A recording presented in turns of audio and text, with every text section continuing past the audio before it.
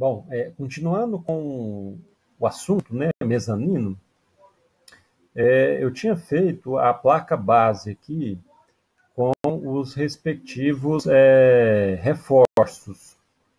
Porém, vou mudar aqui a, a vista.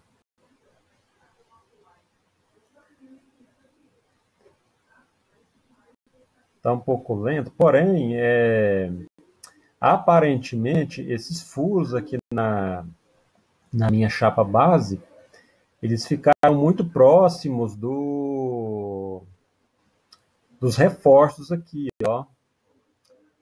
Destravou, deixa eu tentar abrir aqui. Fica mais fácil de entender. Aqui, ó.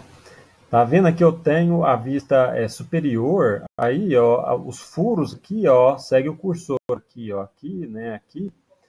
Esse, essa furação, aparentemente, ela está muito próxima da, dos reforços aqui no é, embaixo no pilar, né? Ou seja, provavelmente quando se seguir desse jeito aqui, provavelmente é, na hora de executar, é, quem tiver responsável vai ter dificuldades aqui, não de passar o chumbador, né? O chumbador tudo bem, mas de colocar é, arruela e porca, tá?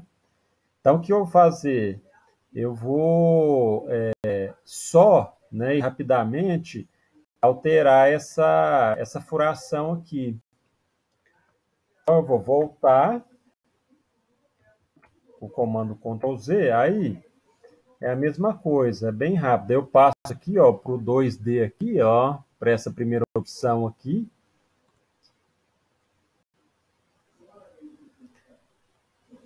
E aí, lembra, e lembrando que eu estou no 3D, né? Eu vou desenhando 3D mesmo.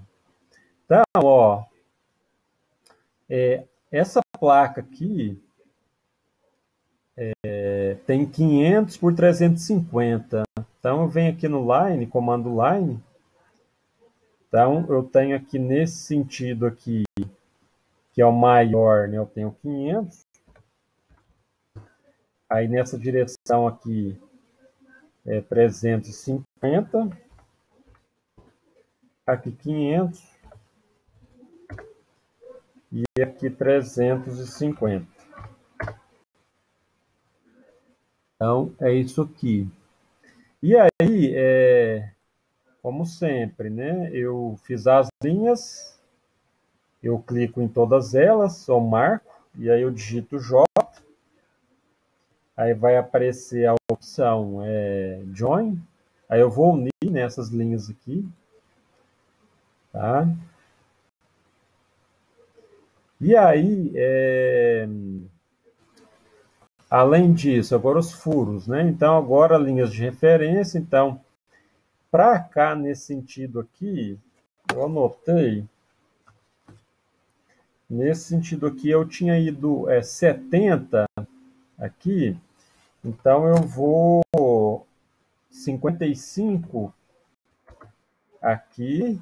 E para cá, aqui, tinha sido 95, então eu vou para 80. Tá? Então, só linha de referência aqui. Aí eu venho aqui, ó, nesse comando aqui, ó.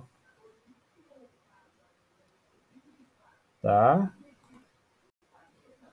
Clico aqui, aí vai aparecer as opções, eu vou escolher a opção é, centro, diâmetro.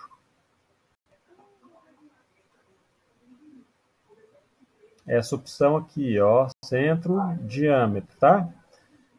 Então, vou clicar aqui agora, e eu tinha adotado, acho que era 33, né, de, de circunfer o diâmetro. Então, 33, ou às vezes um pouquinho mais, um pouquinho menos, mas tudo bem, não tem problema não.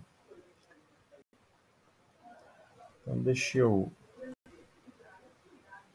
Agora eu apago aqui as linhas de referência, né? Só para poder é, posicionar o, o furo aqui, aí depois é só digitar mi, o comando mirror, aí eu marco aqui, por exemplo, eu posso vir aqui, ó, tanto faz, nesse midpoint ou nesse aqui, tanto faz. Enter, aí Enter de novo, aí eu volto para o comando mirror, né, não precisa de eu digitar, então marco aqui, Enter, agora venho no outro midpoint aqui, ó, aqui, certo? Em seguida, o extrude. Então, vem aqui, ó. É, eu vou adotar uma polegada, então 25.4 milímetros. Tá? Enter de novo. Então, agora que eu fazer, marcar todos aqui, ó. E eu vou dar uma altura qualquer aqui, não tem problema não. Tá? E para ter certeza, é só, às vezes, para não perder tempo, eu posso fazer também, marco aqui, ó, aí eu vou descer um pouquinho aqui, ó, para ter certeza que vai é, furar minha chapa. Em seguida, eu dito sub, aqui, ó, aí essa opção aqui, ó, Aí aqui está escrito seleciona objeto. Então, primeiro é o que eu quero furar, que é a chapa base, clico, Enter. Depois eu clico aqui no, nos círculos aqui estrudados, cliquei nos quatro, Enter. Então aí eu já, já tenho aqui ó, a minha chapa, uma outra chapa base, com uma furação diferente. Tá? Então, Ctrl Z. Aí que eu vou fazer aqui, eu vou, como as dimensões das, é, das bases né, são as mesmas, e a espessura também é a mesma, eu vou só marcar uma linha qualquer de referência aqui. Aí eu venho aqui, ó, clico aqui na minha chapa base. Vou marcar aqui, cliquei. Aí o que eu vou fazer? É embaixo, né? Então eu aperto Delete. E agora Move eu vou pegar ela aqui, ó, essa nova aqui, clico, Enter. Aí eu venho aqui embaixo, aqui, ó, e coloco aqui.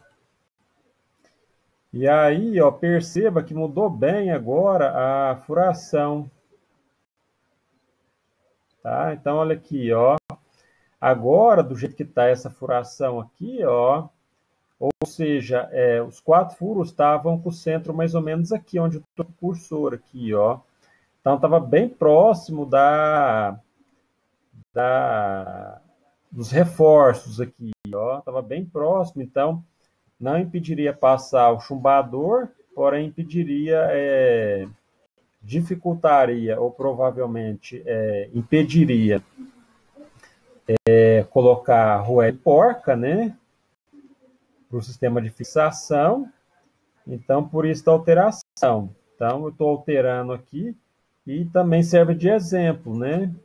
É, você modelou uma peça de um conjunto e você já modelou, você começa a modelar. Você modelou, por exemplo, é, é, sei lá, 20 peças que formam um conjunto. E aí você está modelando a vigésima peça e chega à conclusão de que você tem que alterar, por exemplo, aquela que você modelou, é, foi a quinta peça que você modelou. Então você pode fazer isso, pode apagar ela e colocar outra no lugar. E está provado aqui que é bem rápido. Então deixa eu apagar essas linhas aqui. E é isso.